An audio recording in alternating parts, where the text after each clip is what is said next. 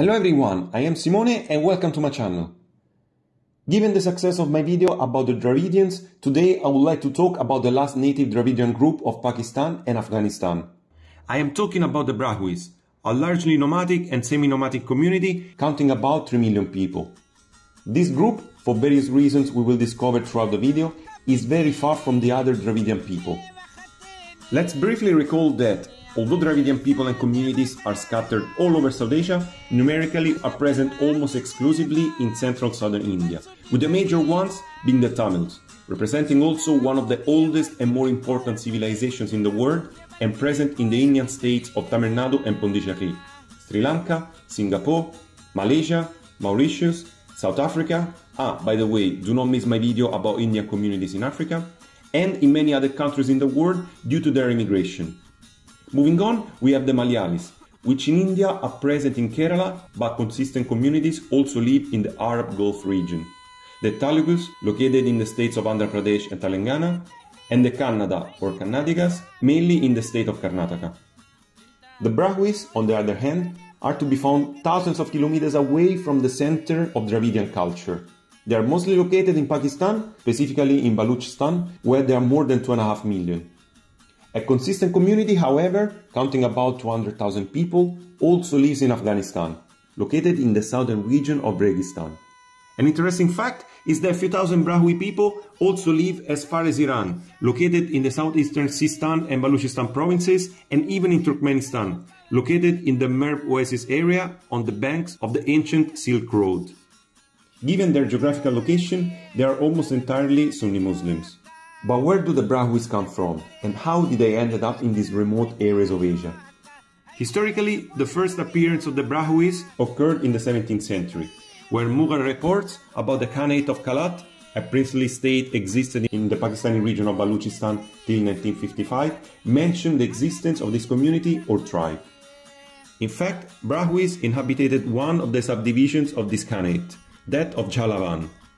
Unfortunately, before that date, Brahui history is almost totally lacking references. The few early Brahui traditions known are merely echoes of the Baloch traditional history. There is no evidence of any early association between Brahuis and Baloch before their encounter in the highlands of Kalat in the 13th century. Any assumption or speculation about Brahui history must therefore be based on linguistic evidences alone, namely the fact that Brahui is a Dravidian language.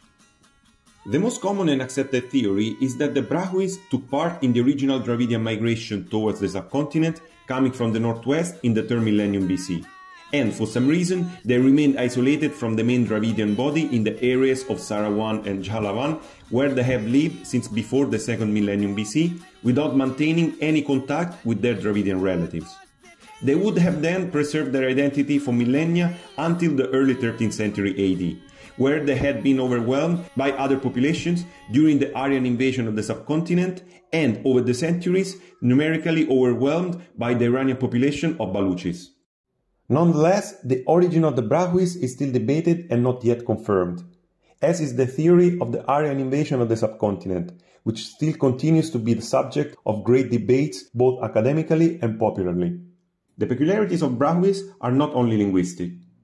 Physically, the Brahuis are quite distinguishable from their Jat and Baloch neighbors. Another theory of the origins of the Brahuis is the one considering them relatively recent immigrants to their present homeland in Pakistan from the western part of the Deccan region in India.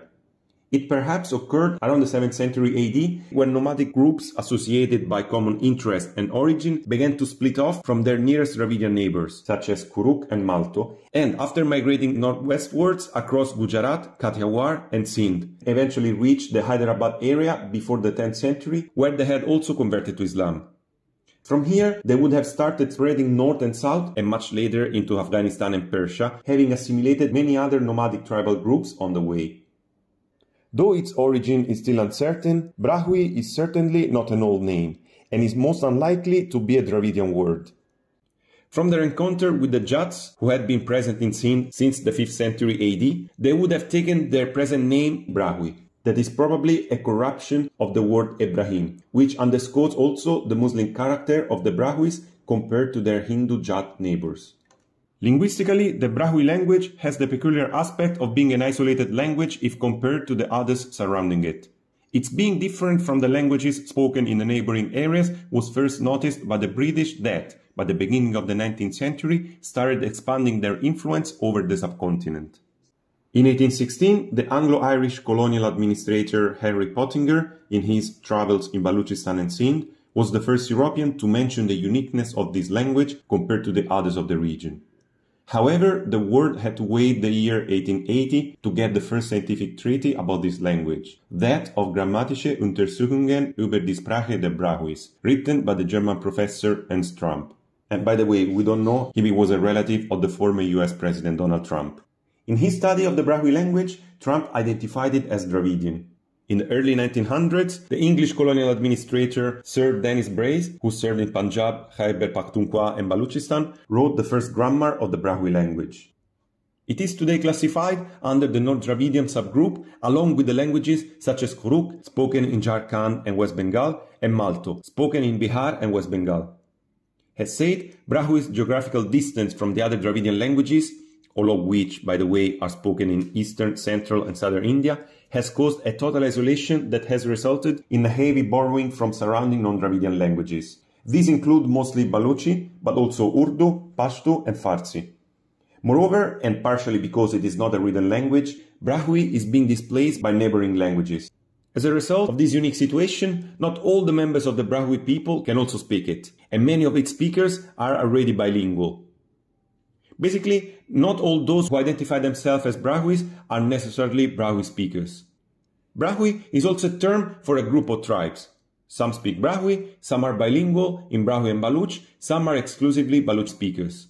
Ethnologue estimated the speakers to be more than 2.8 million, located mostly in Pakistan and followed by Afghanistan, Iran, and Turkmenistan. In Pakistan, this language is not used for education, and it was not used in the mass media until recent years, when the first Brahui newspaper, called Haftai Talar, started being printed and distributed in 2004. Brahui is then essentially spoken language, and the literacy level among its speakers it is quite low. Nevertheless, a rudimentary literary tradition is there. The first written work in Brahui language was completed by the half of 18th century. It is called Tuhfat al-Ajaib, meaning the gift of wonders, and it is a poetic work of religious nature written by Malikdad Gharsim Khalati. He was a poet in the court of Mir Muhammad Nasir Khan I Ahmad Zai, who ruled in the Khanate of Kalat from 1749 to 1795.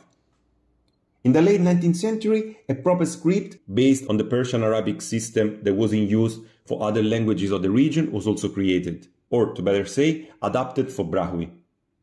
However, despite all this, the struggle to maintain this language alive continue. Today, Brahui is listed by UNESCO as an endangered language, with the main issues being the poor literacy level of its speakers and the lack of state support in the countries where it is spoken, especially Pakistan. Due to political and historical reasons, the Pakistani authorities has given a primary status to Urdu, marginalizing the other native languages in the region even further. So, isolated, away from its close and distant linguistic and ethnic relatives, Brahuis has surprisingly survived and maintained their distinct culture for so many centuries. It would be a disaster if we let this trace of the Dravidian culture, perhaps a witness to the presence of these people at the outermost borders of the subcontinent and at the gate of Central Asia, to disappear in the sands of time.